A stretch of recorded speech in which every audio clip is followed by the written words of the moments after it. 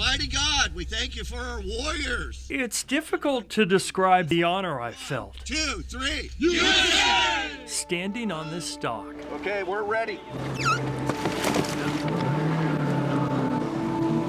As the USS Carl Vinson pulls back into port, we've all been chosen to escort the ship and its sailors back into the safety of the harbor and hearts of San Diego. I do get emotional, and don't do that to me right now, because I will get teary eyed because I am passionate about my country.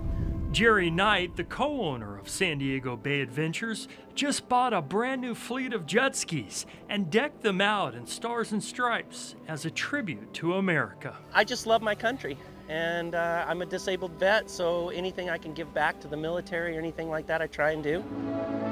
We ride in V formation because victory is what this aircraft carrier symbolizes to Bruce Denham. On the deck of that aircraft carrier, Osama bin Laden was buried at sea off of. Bruce holds the Vinson in the highest regard because he was a first responder. And it's a little personal for me because I spent seven years as a firefighter, and that was justice. it was pretty personal for me. Bruce and his wife Gail are the other co owners of San Diego Bay Adventures, and her father's a veteran. And I got to tell you, since we've been doing this, my respect for the military is huge. My dad served four years on an aircraft carrier, and I don't think I've ever been this proud to be a San Diegan and an American. When my dad was a young father, he left my mom and children at home for two Navy tours to Vietnam. He says holiday visits from Bob Hope and other celebrities kept his morale high.